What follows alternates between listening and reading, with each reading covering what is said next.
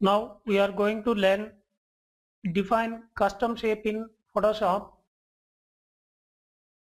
Draw a different shapes by using custom shape tool. Create a new document with trans white background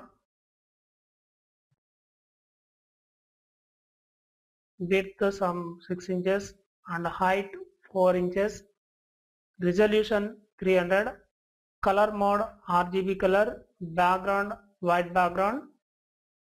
Select pen tool. And draw a custom shape. Custom shape path. Click right mouse button and select define custom shape or go to edit and select option define custom shape.